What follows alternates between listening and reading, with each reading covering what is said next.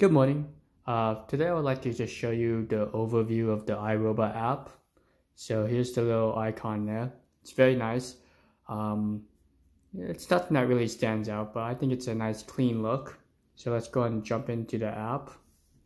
Um, now right off the bat, you got this giant clean button. It's really nice. It makes the app simple. A lot of these other robot apps that have smart mapping, they give you a, a map. Let me kind of show you what that is. So let's say if I jump into like the Roborock's application, and this is, I only have one robot in this app, you can clearly see it's kind of jumbled, you know, you got the map right here, but you got your tabs here. I personally like the iRobots app where it's just one giant clean button here.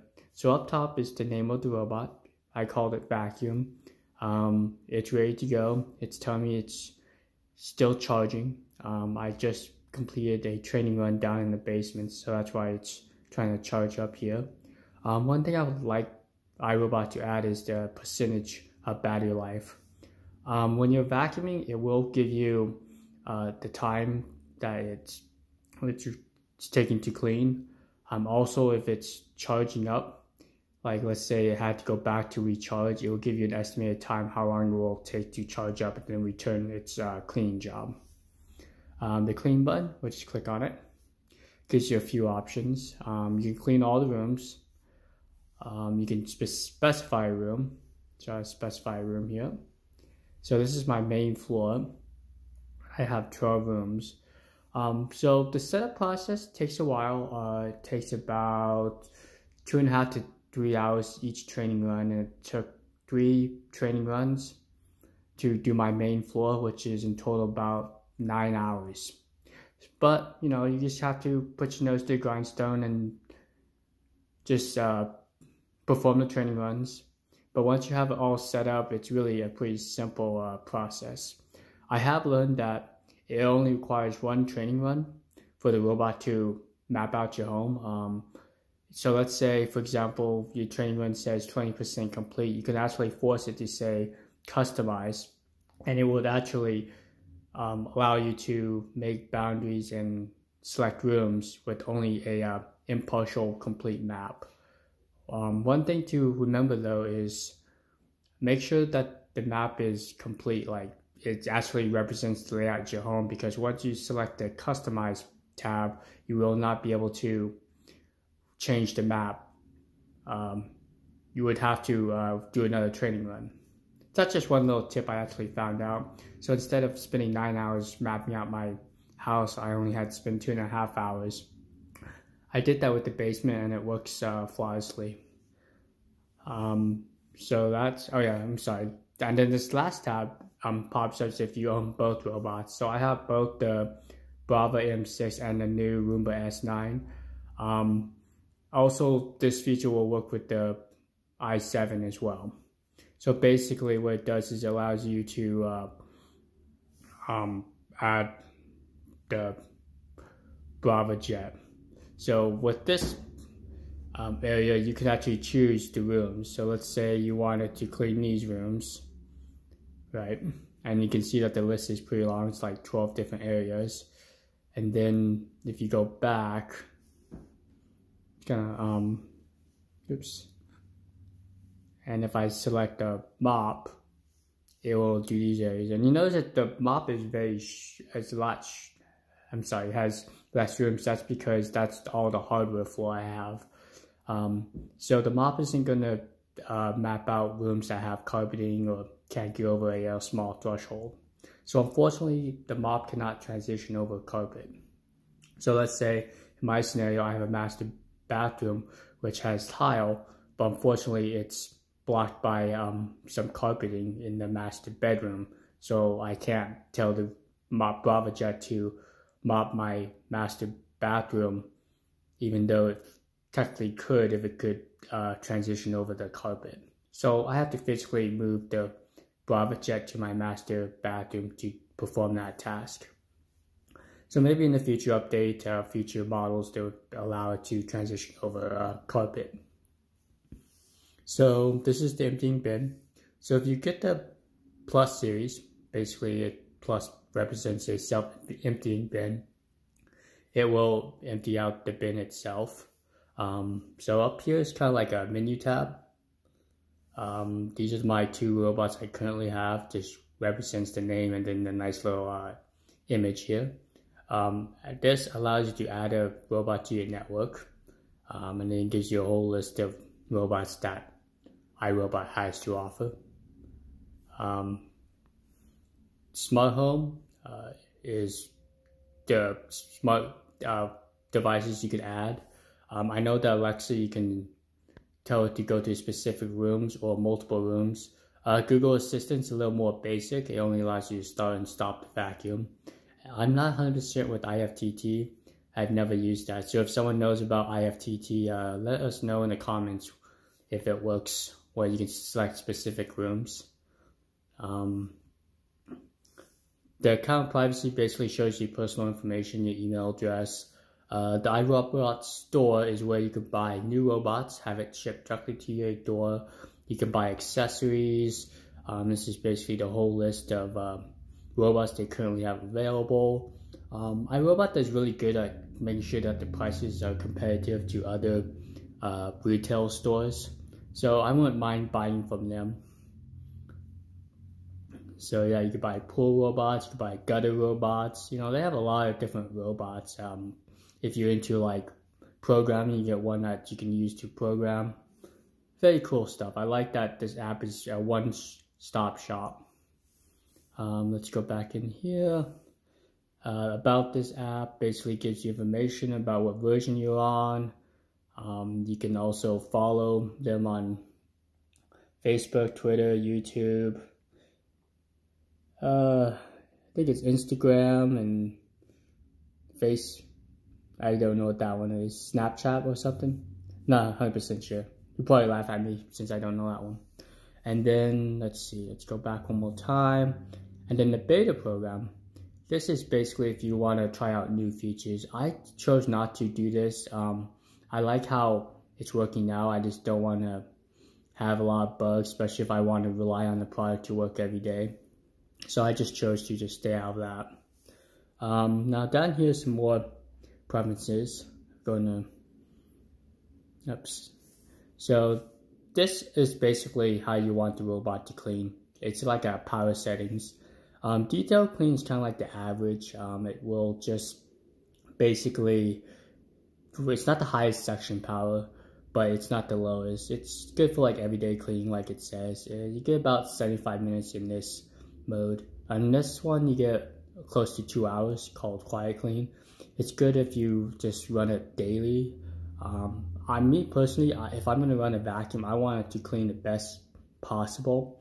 So I actually selected custom with the highest power setting, which according to uh, Robot Vacuum Wars, it runs at 22 CFM. And I also forced it to do uh, two passes um, because I wanted to give it the most thorough cleaning. Um, the battery life is only 50 minutes in this uh, current selection, but the robot will go back to its charger, charge up, and then resume cleaning. So it's not really an issue with the battery life. And I usually just select a, a specific room. I don't clean the entire house. Um, here's my history report.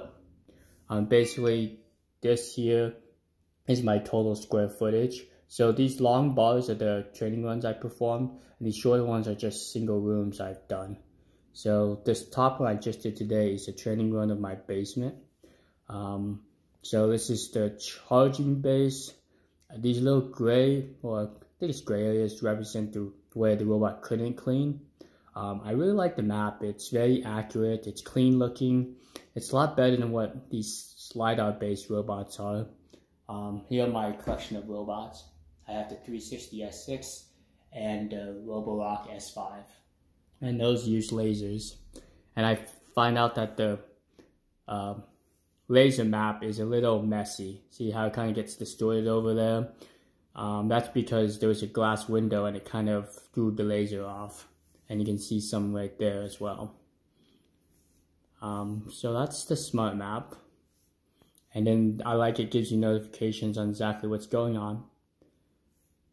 Um, this is your square footage. I'm not 100% sure how accurate that is.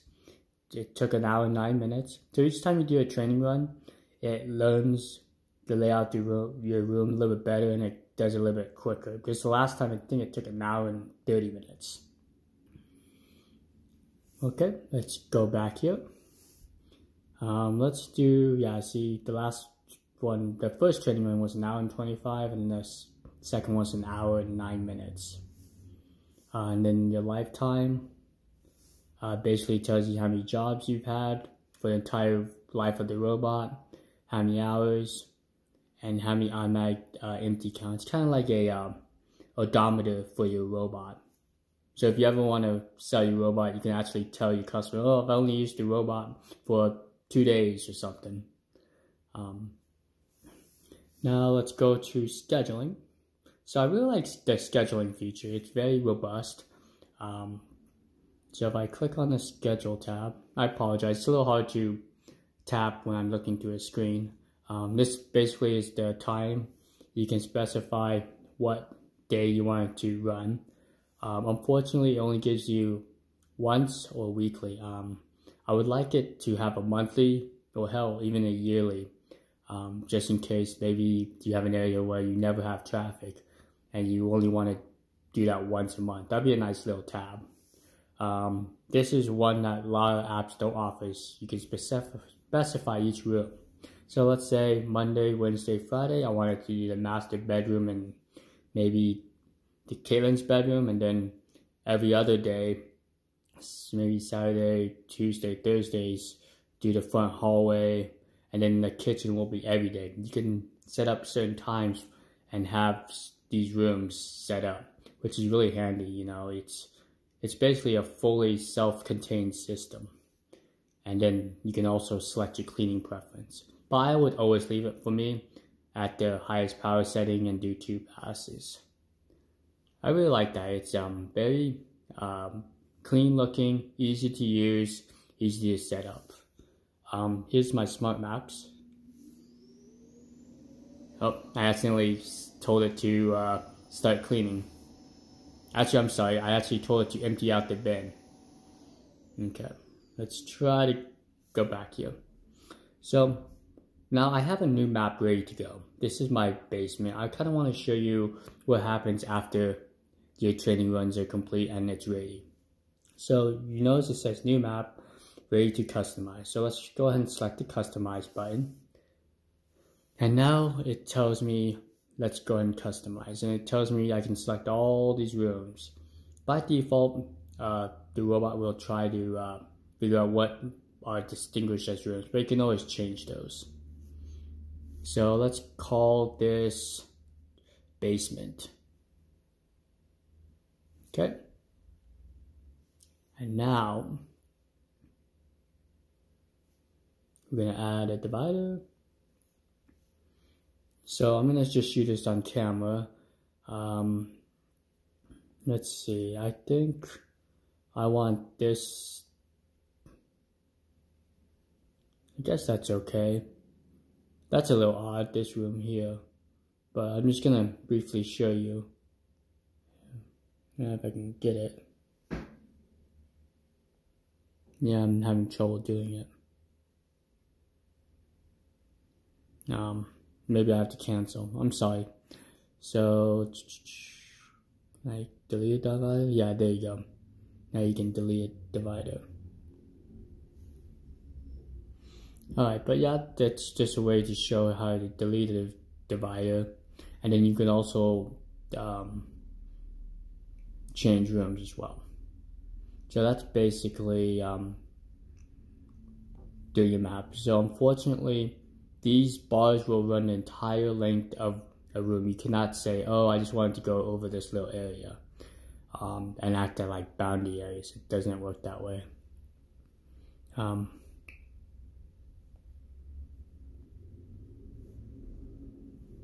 Okay, well, that's basically the basic layout there. Let's keep going or this video get way too long. Okay. So that's the smart mapping. And then the more tab, this is the final tab. It kind of basically tells you how to care for your robot. Um, it's extremely important with robotic vacuums. Um, you want to make sure you uh, empty out the bin regularly. With S9 Plus, it's not a huge deal, uh, but kind of tells you if you get disposal bag, you can buy new ones. It'll kind of walk you through how to wash the bin, the bin well. It's really cool. It's um, I I really made it like user friendly, and they this is something I haven't seen in any other robot. Remove the bin.